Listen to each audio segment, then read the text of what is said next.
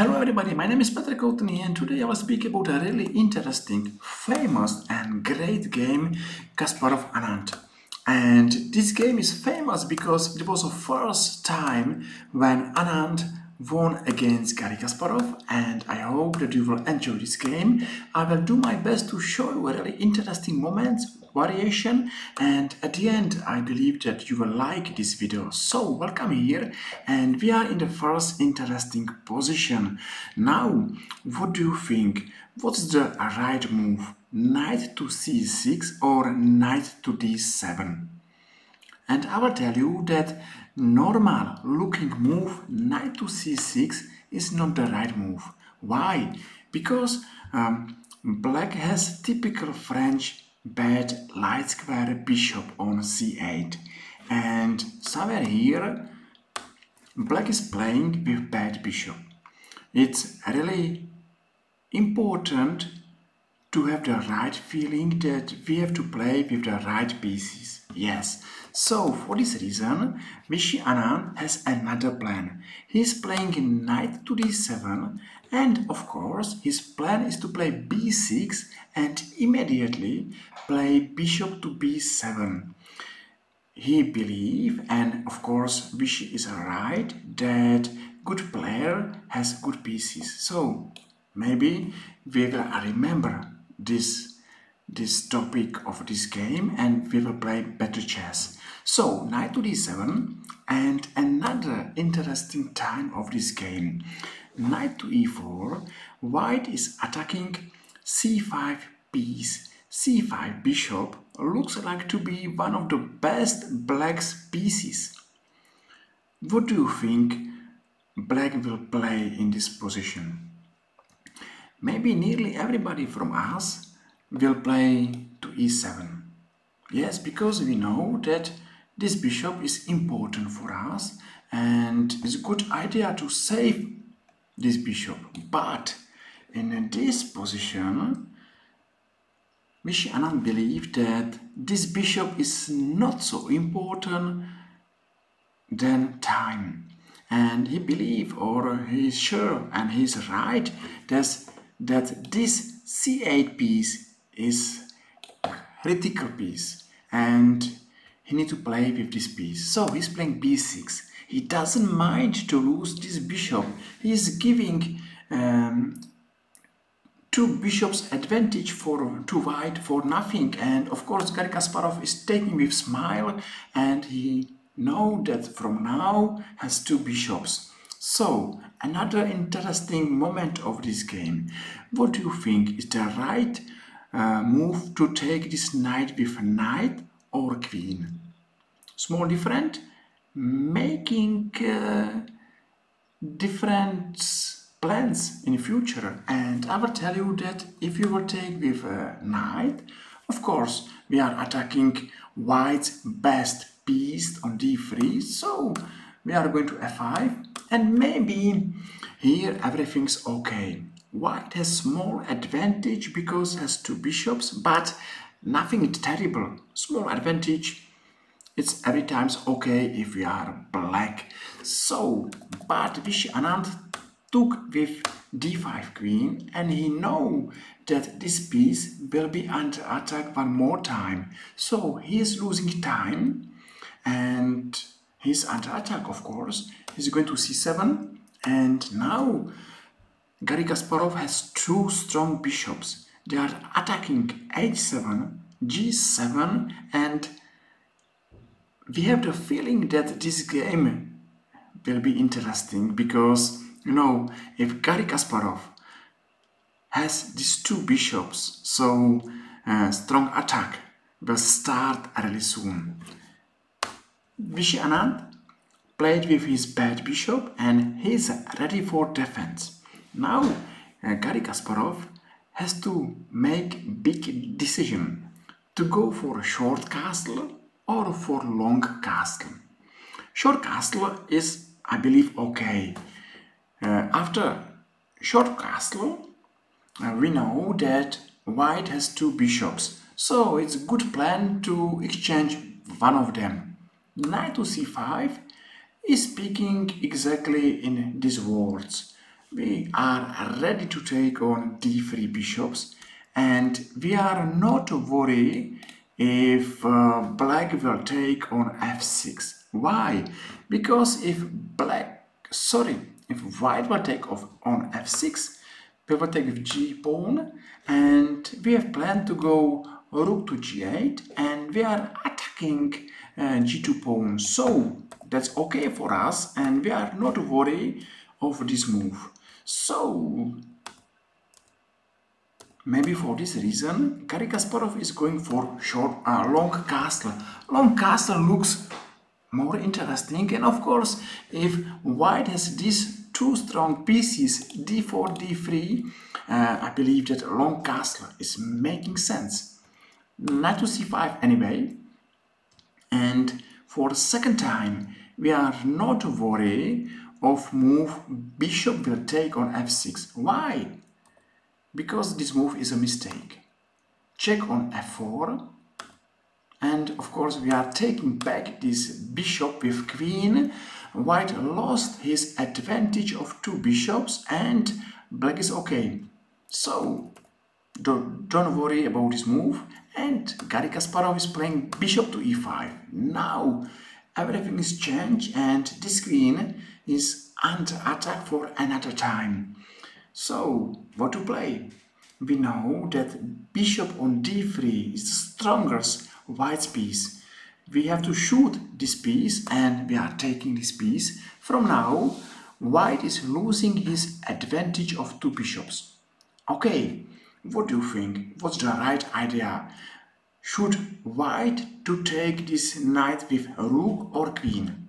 Okay, if white would take with queen, uh, looks like still black is under attack. Now is big threat to take on f6 and you need to be careful not to be checkmated the right move is h6 while take of course this move is a mistake so we have to take uh, knight. Somewhere here this position is sharp. Uh, white has dark squares bishop black has light square bishop. Uh, black has short castle, white long castle, so interesting game. Still maybe with small advantage for white. But uh, Garry Kasparov took with the rook and it's making sense because this rook should go one day to h3 and of course uh, Garry Kasparov is looking for attack. Beautiful move to c4 because you know if we are under defense it's good idea to go for endgame. So now we stop this plan because we are ready or we don't mind to exchange queens. And one more time, what's happen if white will take on f6? So, what do you think? Yes, of course. Don't worry about this move because check and everything's okay. Um, maybe here black will have advantage, small advantage, because his light square bishop should be stronger than this knight. But, okay, that's another game.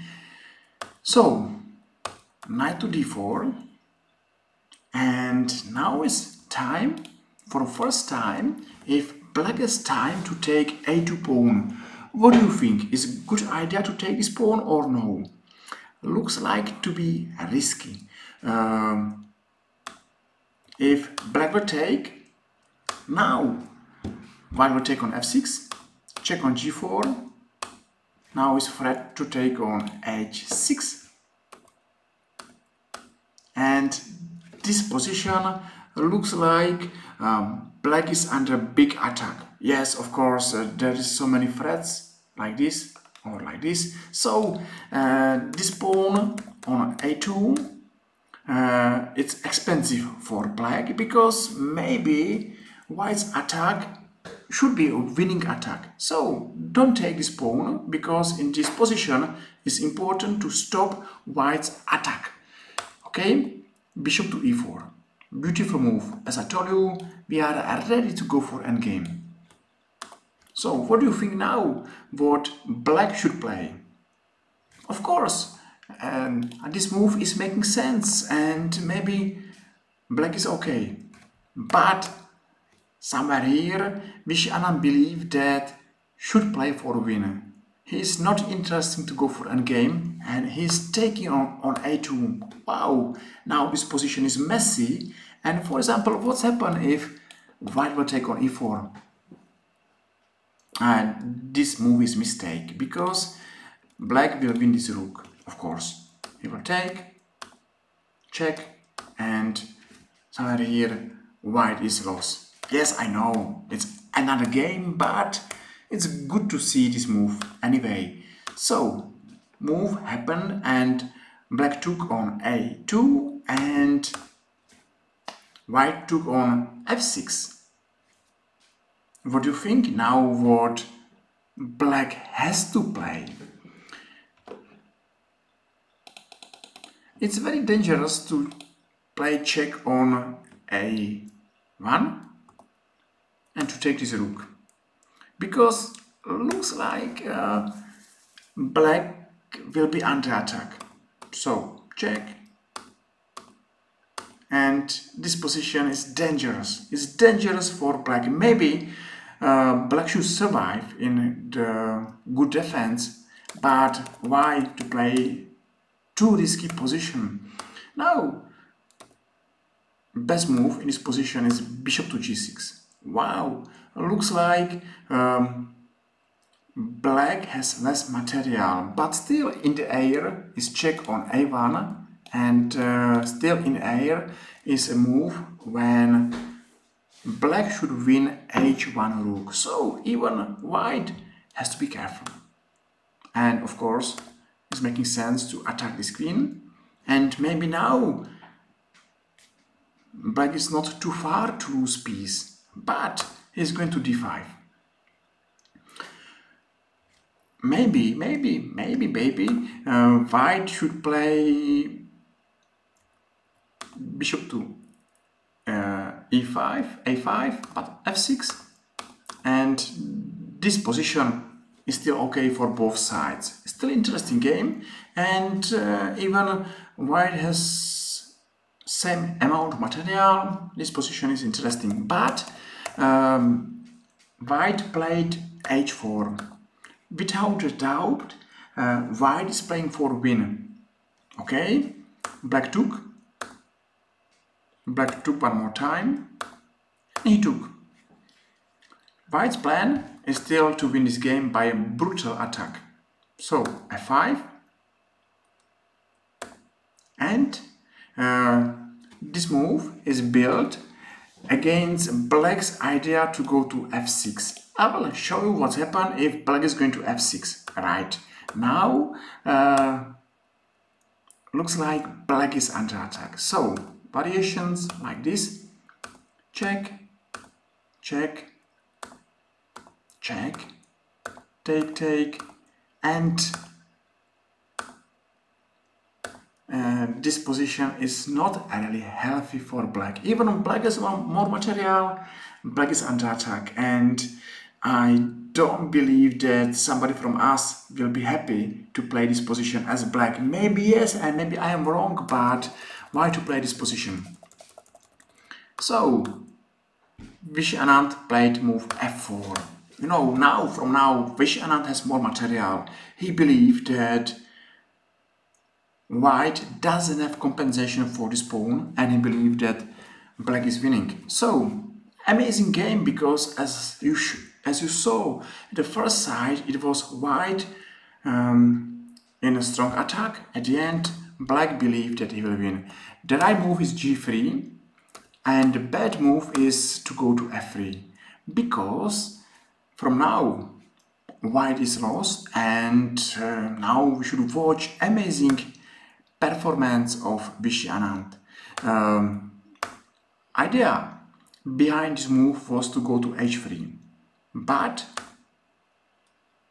this move is important because Square h4 is important. Check, check. And now you can see that this pawn on h4 is under black's control and white doesn't have more checks. And of course, if black will take on f8, is checkmate on c2. So even white has to be careful. So maybe Garry Kasparov has the feeling that something is wrong and he took on f4. Okay, to c5, of course, big threat on c2. And uh, now we should ask white, where, where is white's compensation? And for example, um, here, check, check, and this endgame uh, maybe is not lost for white, but it's still difficult for white. And I will show a few moves where maybe white has chances to draw, but uh, still black has advantage. So, so another interesting variation we saw, and uh, white went to h4 with another rook. Okay, check, threat, uh, okay, black is okay to exchange some rooks, and e5, so he exchanged one rook, and with every new exchange he know that has more material. He believed that this piece is not a safe piece and the plan is to play b5, a5 and with move a4 or b4 black will open uh, this position and he believed that white is absolutely lost. So it should be terrible feeling for Garry Kasparov to play this position because uh, he's playing against young unknown um, and he has so big problems. So now watch faster this game. G5 uh, f3, a5, and as I told you, black is going to open his position. Without mercy, uh, okay, if black is playing, white is playing check on h6, is maybe just checkmate on b2. So as I told you, beautiful move a5, b5, okay? Coming back because we are at the end of this video. Um, and to g3 but no mercy b4 black is going to open check on h4 a4 a2 check check. And of course somewhere here white is losing? Because it's under checkmate. So amazing performance of young Vishy Anand. 22 years old. He played a really amazing game against Kasparov. He was under attack. He saved or he defended all threats and at the end he's winning against big Garry Kasparov. And I believe that this was the best best performance. And from now Vishy Anand know that his world top chess player. So we are at the end of this video. Thank you very much for watching. I hope you enjoyed. I hope you saw interesting game. And if yes, feel free and press like or follow in my YouTube chess channel. And I believe I will see you next time in another interesting our YouTube chess video. Thank you very much for watching one more time and I believe I will see you soon. Thank you. That's everything for now and see you soon.